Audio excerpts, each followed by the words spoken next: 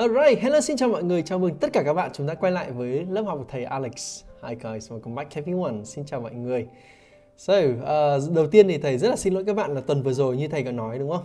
Uh, thì uh, thầy Alex tuần vừa rồi hơi bận một xíu tại vì tuần vừa rồi uh, thầy đi phiên dịch tại hai đại đại sứ quán các bạn. Tuần vừa rồi thì thầy có hai đoàn uh, ở tỉnh Bắc Giang, tỉnh Bắc Giang là quê thầy ấy, có đi uh, chúc Tết tại tại đại sứ quán ấy các bạn, cho nên thầy đi phiên dịch cùng.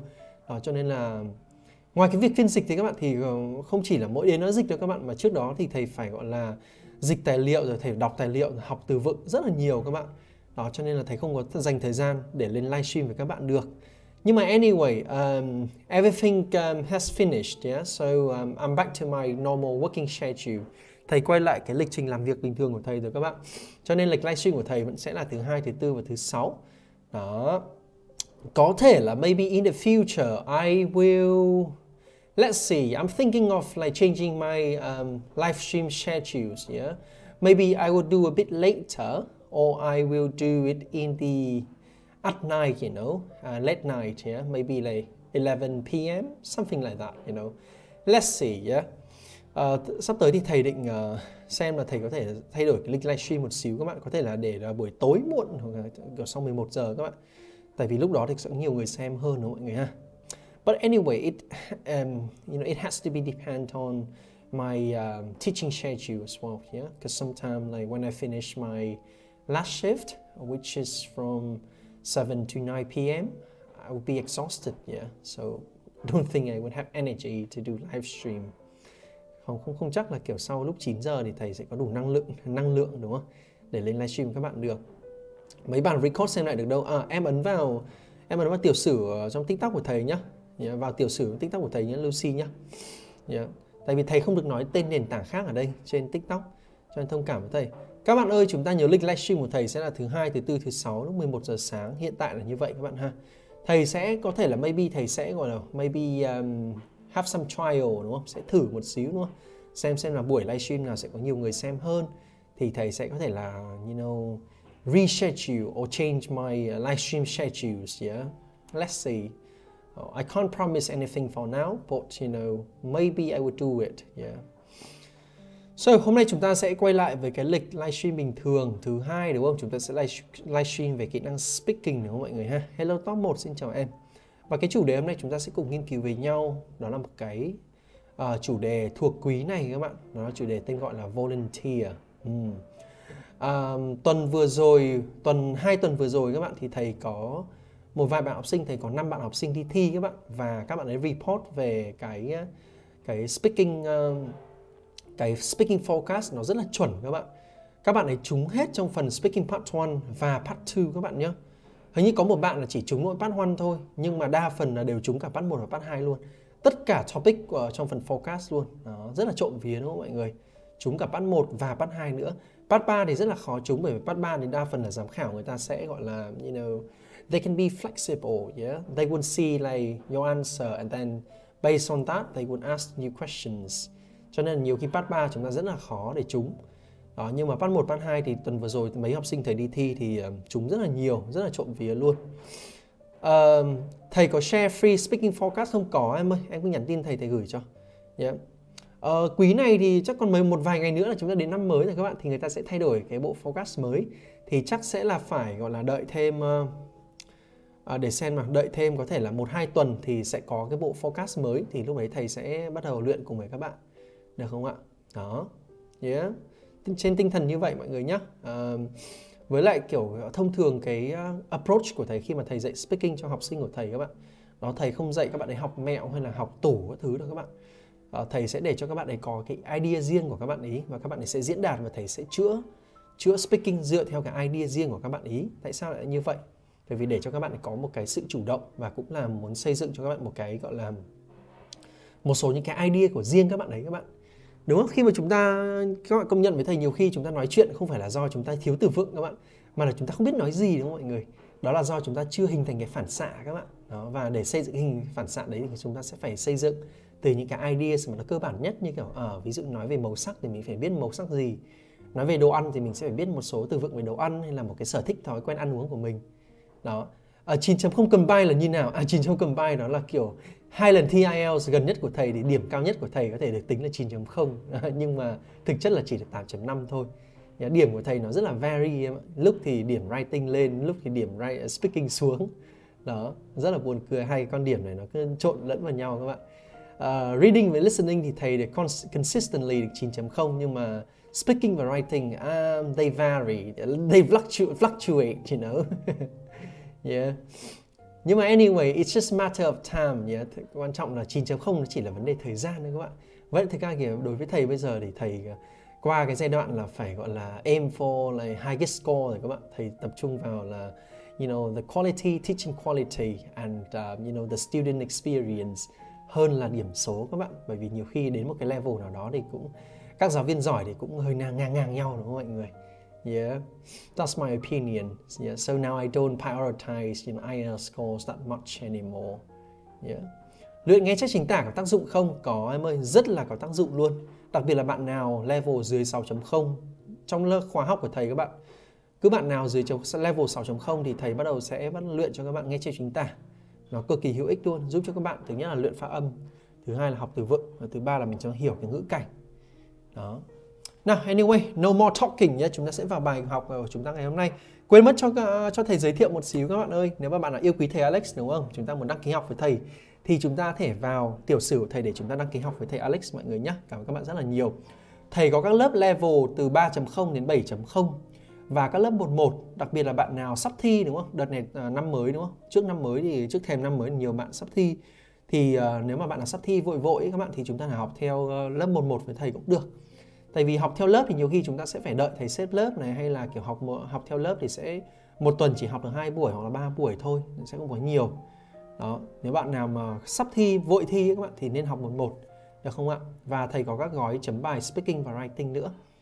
Yeah, sẽ do chấm chính thầy chấm cho mọi người nhé 8.5 speaking và 8.5 writing sẽ chấm điểm cho các bạn. Yeah. ok so let's get started everyone. Bắt đầu nhé chủ đề hôm nay chúng ta sẽ là volunteer chúng mình sẽ đến với câu hỏi đầu tiên đó là Have you done any voluntary work? À, bạn đã gọi là làm những công việc uh, bạn đã từng làm những công việc tình nguyện chưa đúng không? Đã bao giờ chưa? Thì đối với những cái câu hỏi như kiểu have you ever chấm chấm chấm gì đấy các bạn thì thầy hay có một cái approach để thầy trả lời đó thầy sẽ kể về một cái trải nghiệm của thầy hay là những cái trải nghiệm của thầy trong quá khứ thì các bạn sẽ biết chúng ta sử dụng thì gì nhỉ? Thì quá khứ đúng không mọi người? Đó maybe chúng ta để nói là quá khứ à, nhưng mà bây giờ thì tôi bận nên tôi không ờ, tham gia nữa thì chúng ta kết hợp hai thì trong trường hợp này đó So, để thầy xem nào. Um, hồi xưa thầy nhớ là lúc thầy đi đi du học thì thầy có tham gia vào mấy cái campaign các bạn. Thì uh, và charitable programs nữa đúng không? Raise funds, fundraising các thứ. Xong rồi kiểu gọi là help uh, abandoned children, những trẻ em mà kiểu bồ côi các bạn thì thầy hồi xưa thầy đi du học thì thầy lúc đấy là học sinh thì rất là rảnh cho nên thầy có tham gia vào mấy cái hoạt động kiểu như vậy. Yeah. Which which was great yeah. Thầy sẽ thử trả lời kiểu kiểu như vậy mọi người nhé các bạn thấy không? Đây là câu trả lời không hề có sự chuẩn bị trước đâu các bạn. Hoàn toàn là spontaneous luôn uh, ứng biến luôn không có hề một sự chuẩn bị trước đâu các bạn. Đó so let me uh, try to answer this question for you yeah. So have you ever done any voluntary work? Uh, obviously, I have, yeah. I remember when I was at university many moons ago, um, back in 2016, yeah. I participated in some charitable, charitable programs and, you know, um, voluntary uh, activities, yeah, where I helped, um, you know, abandoned children. Um, I helped raise funds, yeah, for them. I mean, you know, this kind of thing was very meaningful. And, you know, at university, I was very, I mean, I literally had, I didn't have like much things to do. So yeah, it was um, a great means to kill the time. ok các bạn, yeah. Yeah. Bạn record đâu ạ? Con phải đi ngủ rồi muốn xem quá đúng không? Vào phần uh, tiểu sử của thầy các bạn nhé. Đó. Ok các bạn, thầy thầy vừa trả lời cái gì các bạn? Thầy vừa chém gió cái gì đúng không các bạn? Yeah có một cái rất là hay đó là kiểu nhiều khi thầy nói chuyện các bạn thầy nói chuyện giống như thầy nói chuyện uh, uh, như kiểu là nói chuyện kiểu nói chuyện bình thường các bạn. Và thầy không nhớ là thầy nói gì đấy các bạn. Nói vậy có được 8.5 không ạ? À 8.5 sẽ phải là một cái uh, gọi là gì nhỉ? Overall performance đó. Nhưng mà thầy nghĩ là một cái câu trả lời 8.5 nó sẽ you know around that you know nó sẽ khoảng khoảng kiểu như vậy em ạ. Yeah, 8.8.5 yeah các bạn cứ nói chung là chúng ta tập trung vào sự tự nhiên đó mọi người. Giám khảo nó chỉ muốn xem chúng ta nói tự nhiên hay không thôi các bạn. Tập trung diễn đạt các thứ cho nó dễ hiểu thôi. Đó. Nào thầy sẽ thử ghi lại những cái gì thầy vừa nói nhé thầy không nhớ 100% đâu nhưng mà thầy sẽ cố gắng recall you know the best as I can yeah so um, yeah, of course I have đúng không? Of course I have yeah, đúng không? Chắc chắn tôi đã rồi đúng không ạ? Um, so when I was at university ạ đó so when I was at university um, I participated I participated in some charitable charitable programs and voluntary activities không ạ yeah. Uh, where I helped you know those in need uh, and abandoned children đúng không? những cái trẻ em mồ côi đúng không ạ? Children yeah. So I like helped uh, raise funds um, and donated uh, you know some items yeah to them. Ok đúng không? Ok chưa các bạn? To them đúng không? Yeah. Đại loại thế các bạn nhé. I mean this kind of uh, experience was very meaningful yeah and a great way to kill time. Nãy thầy còn nói đại loại thế đúng không các bạn? Đại loại cái nãy nó cần nói thế đúng không? Yeah. Ok chưa các bạn ha? Đó. Đại loại thế đúng không? Nãy thầy không nhớ rõ 100% thầy nói gì đấy các bạn. Bạn thông cảm với thầy. Alright, các bạn ơi follow thầy mọi người nhé Các bạn ơi, cảm ơn các bạn đã follow thầy Cảm ơn Kimi này, cảm ơn JJ này Cảm ơn tôi là con nhịt này đúng không? Cảm ơn Minh đúng không ạ? Cảm ơn các bạn đã follow thầy Trong này mình sử dụng hai thì quá khứ đơn và quá khứ và thì gì ạ? Quá khứ đơn, quá khứ hiện tại à, hiện tại đơn cũng được em nhé Tùy, nói chung là tùy em dùng thôi Trong trường hợp này thầy đang sử dụng toàn là quá khứ đơn thôi Các bạn nhìn thấy không? Toàn quá khứ đơn yeah. Các bạn xem lại nhé, thầy trả lời lại cho các bạn nhé So, have you ever done any voluntary work? Of course, I have. When I was at university, I participated in some charitable programs and voluntary activities where I helped, those, where I helped those in need and abandoned children. I helped raise funds and you know donated some items to them as well. Uh, I mean, this kind of experience was very meaningful and a great way to kill time. Ok, kill time là giết thời gian mọi người. Kiểu hồi xưa đại học rảnh đúng không các bạn? học đại học không biết có rảnh không? Hồi xưa thầy đi học đại học ờ, đi du học rảnh lắm các bạn. So I needed to find like some uh, meaningful things to do yeah to kill time. Sorry các bạn. Alright so moving on to our second question sẽ câu hỏi thứ hai cả nhà nhé so câu hỏi thứ hai của chúng ta đúng không? So um, would you like to work as a volunteer? À bạn có muốn uh, bạn có muốn làm tình nguyện viên hay không đúng không ạ? À ok câu hỏi này cũng rất là ok đúng không? Để thầy xem là ví dụ như thầy các bạn là học sinh thì các bạn thể maybe các bạn có thể up, uh, take my approach cũng được có thể sử dụng cái phương pháp trả lời của thầy cũng được. Uh, khi mà thầy nghe câu này thì thầy sẽ nghĩ là uh, và thực ra là thầy là người đi làm rồi các bạn và thầy có một cái gọi là hectic working schedule cho nên là not all the time đúng không? Nhưng mà nếu mà có free time thì rất là muốn các bạn nhưng mà kiểu on a daily basis I have, still have to go to work đúng không? Đó. Các bạn thì bảo là on a daily basis các bạn vẫn phải đi đến trường đúng không các bạn đó. Hectic schedule đúng không? Đúng không cái lịch trình làm việc rất là bận rộn đúng không? Đó. Thì maybe chúng ta trả lời kiểu kiểu như vậy cũng được đó. Yeah. thử nhá thầy thử trả lời như thế nhé các bạn nhé yeah let's see yeah so would you like to work as a volunteer? Well let me see. Um, I think I'm willing to do so um, if I have the time, yeah.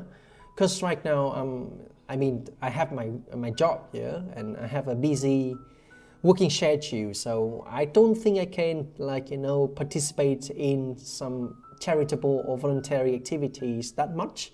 But if I have a time, yeah, why not, you know? Ok đâu mọi kiểu kiểu như thế đó các bạn, yeah. Uh, long time không xem thầy livestream nữa. Hello, welcome back Hào. Xin chào em. À, nghe tên của em cũng hơi lạ, khá là lạ đúng không? maybe trước là em xem thầy nhưng em không follow hay là không không comment nhiều đúng không? Welcome back em. Ok uh, thầy thử ghi lại. Các bạn thấy thầy nói chuyện là rất là tự nhiên đúng không mọi người? Tất cả những câu trả lời vừa rồi thì thầy không hề có sự chuẩn bị gì trước nữa các bạn. Thầy cứ gọi là be spontaneous yeah just answer from my heart you know. Thì ờ, mình cứ trả lời thôi đúng không? Đó. cảm ơn ờ, Tohato đã follow thầy cảm ơn Tiên Tiên đã follow thầy.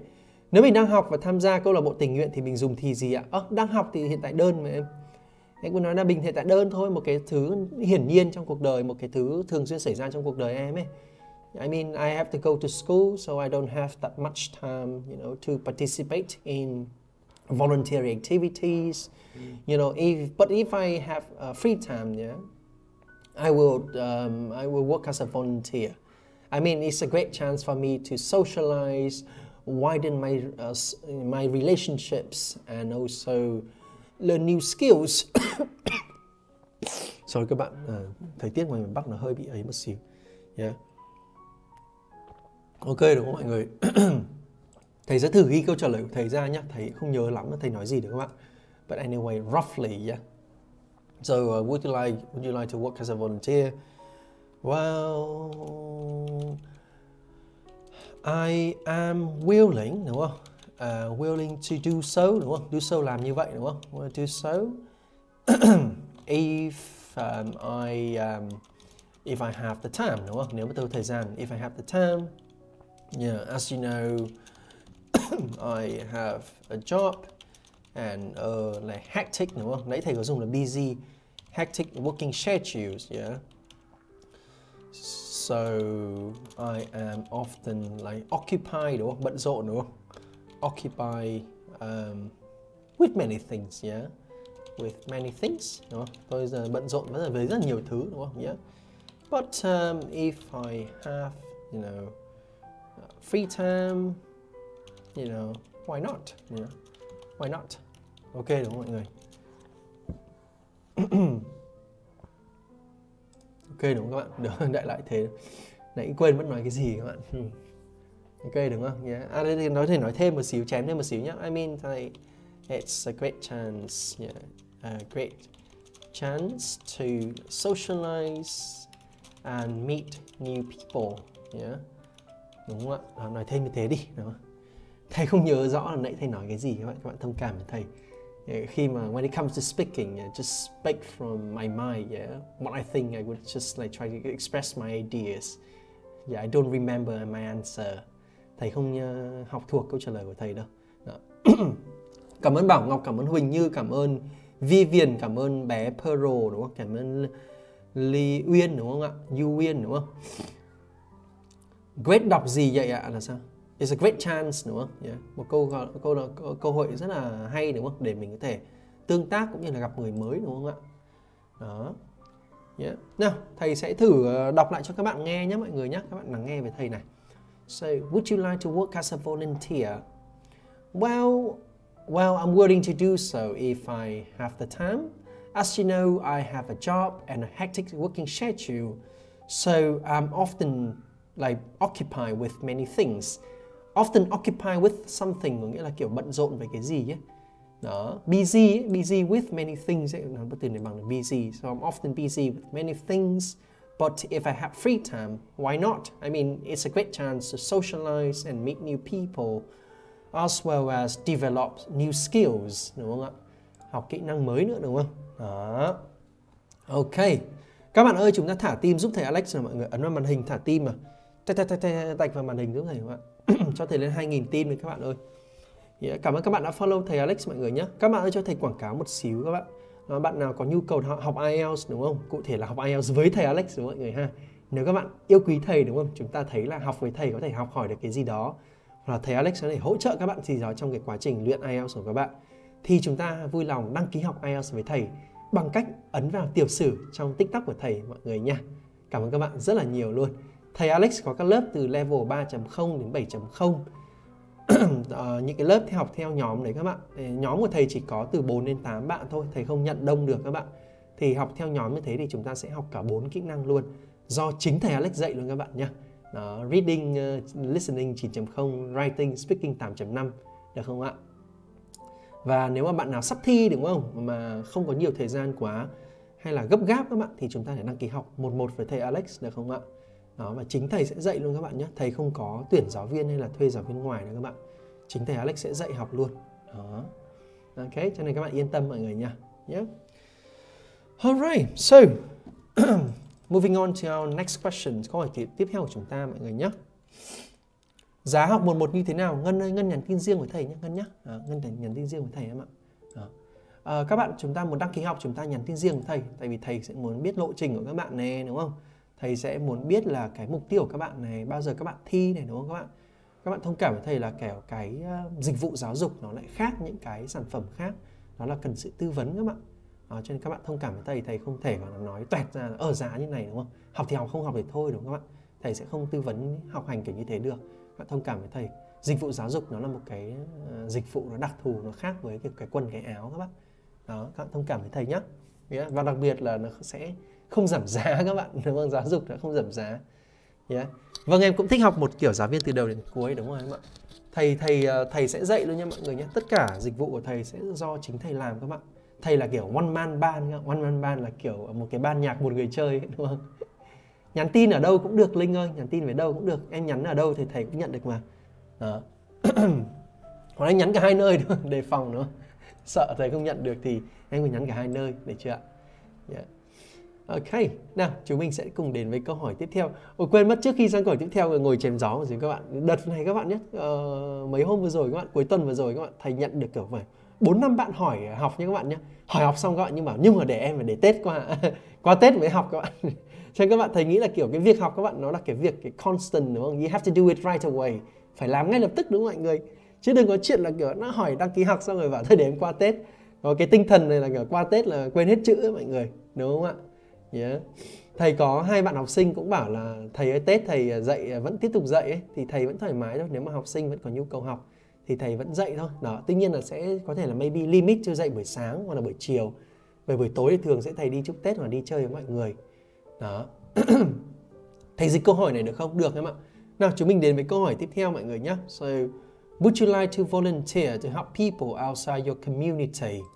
Bạn có um, bạn có gọi là tình nguyện giúp đỡ những người bên ngoài cộng đồng của mình không? đây là một câu hỏi câu hỏi nó rất là hóc búa mọi người mà thậm chí thầy đấy, đây là câu câu hỏi nó rất là lạ luôn và thầy, khi mà thầy approach câu này thì thầy sẽ nói luôn là, ui, tại sao anh hỏi câu lạ thế, đúng không? Thầy nghĩ là quan điểm thầy như này, khi mà mình giúp đỡ mọi người, đúng không thì kiểu không, doesn't matter là kiểu họ là cái là người trong nước mình hay là trong cộng đồng của mình, hay là họ là người ngoại quốc, đúng không hay là họ là người nước ngoài, hay là họ là người từ vùng nào đó đúng không? It doesn't matter. I, to me, it doesn't matter, right? As long as they need help, they desperately need help, then I'm willing to lend a helping hand, đúng không? Nếu mà họ cần giúp đỡ thì chắc chắn là mình sẽ gọi là offer help thôi đúng không mọi người? Đúng không ạ? ok. Thầy sẽ thử trả lời câu này. Đây là một câu hỏi là rất là lạ đó mọi người, unfamiliar và a bit strange đúng không các bạn? Yeah, so maybe uh, thầy sẽ thử các bạn câu này thầy cũng sợ thầy fail đó các bạn nên cho các bạn đừng có lo là nhiều khi gặp câu khó là là các bạn sẽ fail bản thân thầy đi thi bao nhiêu lần thầy vẫn sợ fail các bạn đó nên không có gì phải lo lắng cả so would you volunteer to help people outside your community Well, I think this question is very strange to me. I have never encountered anything like this before. Mm. I would say, like, when it comes to helping others, uh, it doesn't matter, like, whether they are in my community or outside. Yeah, As long as they desperately need help, then I'm willing to lend them a helping hand. Yeah, maybe they can be you know, people in other regions of Vietnam, or maybe they are foreigners, or maybe they are like far, far away, not in my country. You know, I mean, there's some ways yeah that I can still help them. Ok mọi người, được không? Trả lời như thế được không ạ? Câu này rất là lạ không mọi người? Thì mình cứ nói với giám khảo thôi, ui sao anh hỏi câu lạ thế nhỉ? Em chưa gặp câu này bao giờ luôn đúng không? Và mình giải thích là lý do ra hay là mình đưa câu trả lời của mình ra. Đó. Uh, các bạn thấy là speaking ờ, có một cái rất hay các bạn nhé. Tuần vừa rồi thầy đi phiên dịch ở hai đại sứ quán các bạn đại sứ quán mỹ đại sứ quán úc các bạn. Thì là kiểu thầy thấy là cái cái sự intensity của cái việc mà chúng ta nói tiếng anh trong một cái bối cảnh nào đó cụ thể chứ không phải trong học thuật nhá. Hay không phải trong IELTS trong IELTS có một cái rất là dễ như này các bạn đó là nhiều khi mình chém gió được mình chém gió, mình, gọi là, nói chuyện, mình giao lưu, nhiều khi mình chém gió, mình không biết từ nào đấy hay là mình không biết cái trả lời câu này như nào, mình chém gió, mình bịa vào cái gì đấy được, đúng không? Không giám khảo có thể người ta không biết hoặc là người ta biết người ta cũng bỏ qua. Đó, nhưng mà khi mà thầy đi phiên dịch các bạn, mình không được chém gió các bạn. Không được chém gió đâu, bởi vì lỡ mình chém gió linh ta linh tinh, xong rồi nói nó ảnh hưởng mối quan hệ, đặc biệt là ví dụ như hay các cái cơ quan ờ, cơ quan, gọi là, cơ quan chính phủ gặp nhau, đúng không mọi người? Mình không được chém gió các bạn. Đó thì thực sự là kiểu ờ, hôm đấy thầy đi dịch về rồi thầy đi dạy buổi tối mới thầy đi dạy các bạn. Thầy thấy kiểu nhẹ nhõm cực kỳ đấy các bạn bởi vì nó bị căng ấy mọi người đầu nó cứ bị căng ra đó, khi mà mình dịch ờ, chính phủ với nhau mà các bạn mình không được nói linh tinh ấy, không nói linh tinh và từ vựng thì phải dùng rất là chuẩn luôn. Đó. Anyway đây là một cái điều rất là may mắn của IELTS nếu các bạn không biết you guys can always make it up yeah chém gió được các bạn. Ờ, đừng có gọi là be too over yeah. Just keep it like you know com- make it common sense. Nó, nó make sense một xíu các bạn. Đó. Ok thầy sẽ thử ghi câu này ra cho, ra cho các bạn xem nhé mọi người nhé. So uh, uh well this is uh, thầy sẽ uh, comment về cái câu hỏi một xíu đúng không? A strange question đúng không? Câu hỏi lạ thế nhỉ? Um, and I have never encounter anything like this before đúng không ạ? Chưa gặp cái này bao giờ đúng không, đúng không? Uh, but I think um, I think I think when it comes to like helping people đúng không ạ? Yeah. It doesn't matter. Đối với tôi chẳng quan tâm họ là đến từ đâu đúng không? It doesn't matter where they are yeah. Where they are. I mean, I mean, they can be uh, like in my community? Hoặc là be within my community, community, or outside. Yeah, doesn't matter to me, right? Uh, as long as they desperately, họ cực kỳ cần, không? desperately need help, then I am willing to lend them a helping hand đúng không ạ Đó. thầy thầy ngắn, cắt ngắn lại các bạn nhé khi mà thầy viết ra cho các bạn thì cắt ngắn lại một xíu còn khi đương nhiên khi thầy nói chuyện thì thầy sẽ tự nhiên hơn, thầy sẽ nói được nhiều ý hơn các bạn nhưng mà khi thầy viết ra thì thầy sẽ, gọi là, shorten it, yeah? so you guys can easily understand có một cái rất là hay đối với sự khác biệt giữa writing và speaking là speaking mình có thể nói nhiều ý tưởng và một ý tưởng mình có thể nói nhiều lần để, mục đích là để nhấn mạnh, cũng như là để cho củng cố lại cái cái cái understanding của người nghe các bạn reinforce the understanding of the listener đúng không ạ? Nhưng mà writing thì ờ, mình sẽ phải go straight to the point phải đi thẳng vào vấn đề luôn. Writing mình không được viết repetitive yeah. cảm ơn các bạn đã follow thầy cảm ơn Quỳnh Châu cảm ơn Thiên Ân cảm ơn Perry cảm ơn không biết tên cảm ơn Phạm Sơn cảm ơn IELTS đúng không? Đã follow thầy cảm ơn các bạn rất là nhiều. Thầy sẽ đọc lại cho các bạn nghe nhé cả nhà nhé nghe lại với thầy này. So, would you volunteer to help people outside your community? Well, this is a strange question, and I have never encountered anything like this before. I think when it comes to helping people, it doesn't matter where they are. I mean, they can be within my community or outside.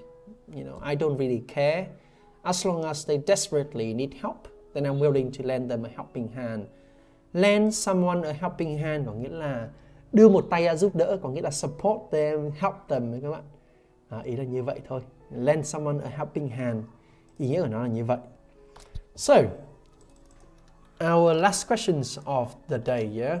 Câu hỏi cuối cùng chúng ta ngày hôm nay mọi người nha. So, what types of voluntary work would be unpleasant for you?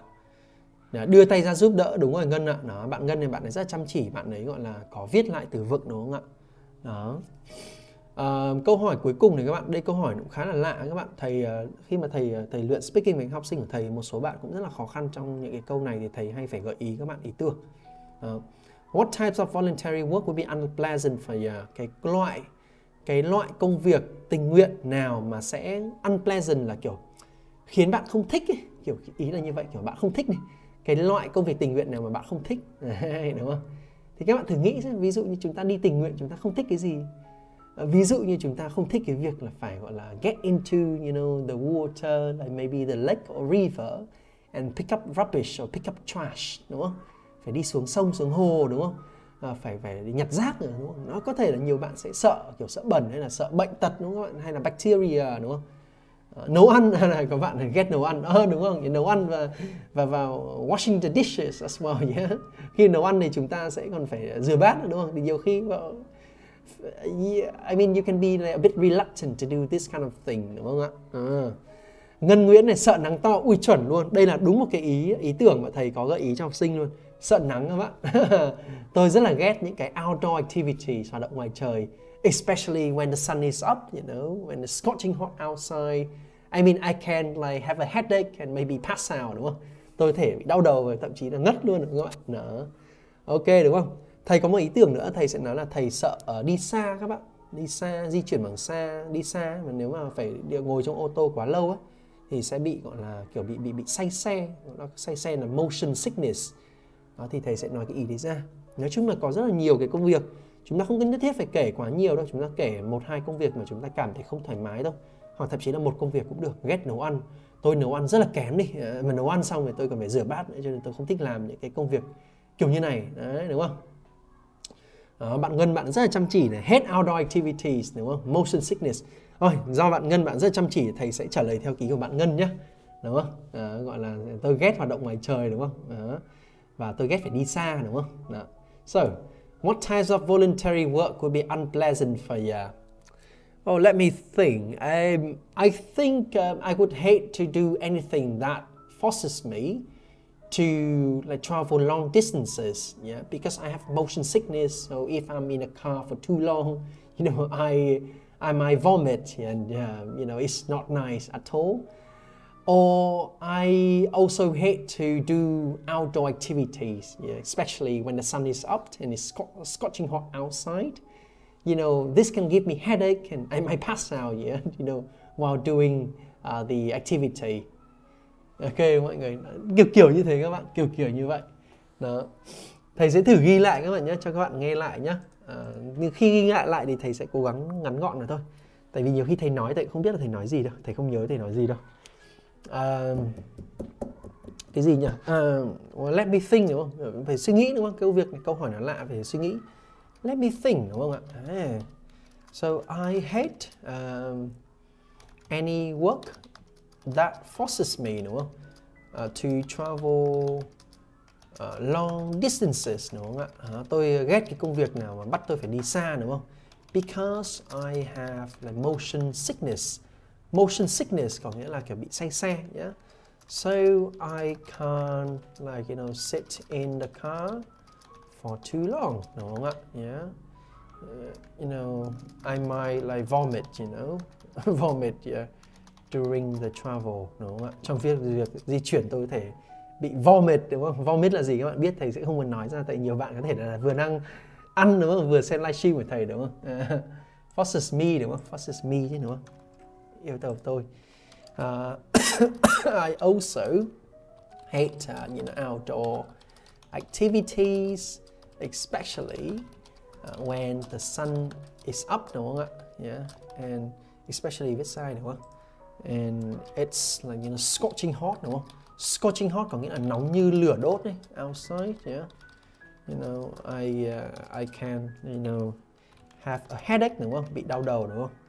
Headache thế nào nhỉ? ACE headache and uh, my pass out đúng không? Pass out là bị ngất các bạn. ok chưa? Thấy khu vực có độ cao như Hà Giang uh, đường khó khăn mình nói à uh, maybe like somewhere with, with high altitude high altitude là độ cao cao high altitude hoặc là high elevation cũng được đó I had to travel to places with high elevation and you know maybe the roads are bumpy yeah they're not you know smooth yeah bumpy là kiểu của nó bu bu bu bu bu đường nó bu bu bu bu không biết tả tiếng việt kiểu gì yeah. yeah mà em thấy là well the roads is not uh, in and the infra, and the road infrastructure is not great thì cũng được. Cái cái gọi là road infrastructure cái cơ sở hạ tầng đường xá nó không tốt cũng được. Có rất là nhiều cách. Nhiều khi kiểu chúng ta không biết rõ cái từ đấy là gì nhá thì chúng ta để vẫn diễn đạt bằng cái ngôn từ của mình để cho giám khảo hiểu cũng được các bạn. Người ta không quá khắt khe quá đâu các bạn. Bởi vì anyway người ta biết mình là không phải là native speaker và thậm chí nhiều native speaker người ta không biết tả như nào đúng không? Đó ví dụ trong tiếng việt ấy nhiều khi đây tiếng việt này mình cũng không biết nói là uh, kiểu gọi là gì nhỉ? Đường nó kiểu gồ ghề ấy đúng không? Nhiều khi mình không, tiếng việt mình không nghĩ được cái đường đấy thì mình bảo đường xấu đúng không? Hay là đường nó khó đi đúng không? Đó. Uh, volunteer từ chủ đề là volunteer em ạ. Đó. nóng như lửa đốt đúng không scorching hot đúng không? Nóng nóng dã man đấy đúng không các bạn đó. thứ sáu thầy live được không? Uh, task two. Uh, thứ sáu để thầy xem thầy thu xếp công việc nhá tại vì quên mất không dặn các bạn thứ sáu thầy hay đi quay quay quay show cho Ad Micro ấy. Các bạn dạo này các bạn lướt tiktok các bạn thấy cái chương trình Ad Micro người ta hay quảng cáo nhiều đúng không? Uh, Ad Micro là một cái nền tảng để chúng ta học cũng là học IELTS nhưng mà chúng ta học theo kiểu dạng video các bạn. Và dù là các bạn học với thầy Alex trực tiếp uh, ờ, trực uh, trực tiếp với thầy Alex nhé hay là chúng ta học Ad Micro qua video thì chúng ta vẫn được nhìn thấy mặt thầy Alex rồi các bạn. Đó chẳng qua qua Ad Micro thì chúng ta sẽ không có sự tương tác ngay lập tức với thầy đó nhé yeah. đúng không? Các bạn ờ, lướt tiktok nhiều các bạn thấy ad micro người ta hay quảng cáo nhiều đúng không? Đó thì thầy ờ, dạo này thầy hay đi quay chương trình. Không phải dạo này đấy các bạn là hơn một năm rồi thầy đi quay chương trình cho ad micro rồi các bạn. Là gắn bó cũng được một năm rồi các bạn. À, cho nên là nếu mà bạn nào không có cơ hội chúng ta học trực tiếp với thầy đúng không? Thì chúng ta để đăng ký học ad micro cũng ok. Cái này không hề quảng cáo nhé thầy chỉ là thầy quay chương trình cho ad micro và mọi cái chất lượng bài giảng các thứ thì thầy cũng giám sát và thầy cũng gọi là gọi là gì nhỉ? Ừ thầy giám sát chất lượng thôi. Đó cho nên thầy biết là chất lượng cũng rất là ok. Đó không phải quảng cáo gì nhá không được nhận tiền quảng cáo đâu các bạn. Đang ký học qua video cái này ngân phải lên tra mà cái thầy thầy không không uh, liên quan đến việc uh, quảng cáo của các cái đơn vị đấy của đơn vị đấy em ạ đó. ok. So, các bạn ơi, chúng ta nhớ lịch nhớ lịch livestream của thầy Alex đó là thứ hai, thứ tư, thứ sáu lúc 11 giờ sáng mọi người nhé. Và có thể thời gian sắp tới thì thầy sẽ thử đi thầy sẽ thử livestream những khung giờ khác để xem có nhiều người xem hơn không. Đúng các bạn hôm nay rất là trộm vía đúng không mọi người? Sau một tuần thầy nghỉ livestream thì thầy quay lại thì hôm nay trộm vía có nhiều người xem hơn. Rất là vui luôn các bạn. Đó, chứ còn mấy hôm vừa rồi xem buồn lắm các bạn. Cũng mười mấy bạn buồn lắm các bạn ơi. Đó cho dù các bạn chưa đăng ký học IELTS với thầy Alex thì cũng không có vấn đề gì hết các bạn. Chúng ta cứ nhớ đến thầy đúng không mọi người? Khi nào có nhu cầu thì hãy come back to me đúng không? Đến với thầy Alex đúng không mọi người ha? Đó và nhớ giúp thầy là cái việc học của chúng ta phải là liên tục mọi người nhé. Chứ đừng là ui từ từ em cho em nghỉ một tháng hai tháng để em gọi là ờ, em em ăn tết xong rồi em học đúng không các bạn? Nhé. À, ngân thứ hai thì sớm 11 sáng đúng không? Nhé. Ok đúng không? Ngân ơ cảm ơn em đúng không? Like cuối tuần thì nhiều bạn đúng không? Rất là tiếc đúng không? Thầy thầy biết là như vậy nhưng mà kiểu nhiều khi các bạn xem là thầy cũng có lịch dạy các bạn. Nhiều khi thầy có lịch dạy ấy cuối tuần thầy dạy nhiều lắm các bạn nguyên cả sáng sáng chiều tối, thứ bảy, chủ nhật thầy đều dạy nhá. Rồi ban ngày, trong ngày thầy cũng dạy nói chung là nhiều lắm. Một ngày thầy tính ra thầy dạy cũng tầm khoảng đến 8 đến 10 tiếng đấy các bạn. Tính giờ dạy học thôi nhá, chứ không phải là giờ chấm bài nhá. Giờ dạy học là 8 đến 10 tiếng nữa mọi người. Chiều nay thầy có 3 ca này, xong rồi tối 2 ca nữa này các bạn. Đó thì là tổng là 10 tiếng dạy học ạ. Hello, xin chào Thảo Vân. Hai năm trước em cũng xem live như này, nhớ quá, đúng không? Đó, một học sinh uh, regular to my livestream đúng không? Một cái bạn hay thường nghe qua livestream hồi xưa đúng không ạ? Ok, cảm ơn các bạn rất là nhiều. Các bạn ơi, chúng ta nhu cầu học IELTS thì chúng ta vào tiểu sử của thầy Alex chúng ta đăng ký học mọi người nhé. Thầy có các lớp từ level 3.0 đến 7.0 và các lớp 11 dành cho các bạn mà ờ, hay trêu thầy hay trêu là hấp hối đúng không mọi người hấp hối sắp thi đúng không hấp hối rồi vội hết rồi đúng không thì để đăng ký học 11 với thầy còn bạn nào kiểu still have the time you know and you are still chill and uh, learn as you go yeah? Then you can just like sign up for my group classes lớp nhóm đúng không ạ? Đó. Ok cảm ơn các bạn rất là nhiều mọi người nhá.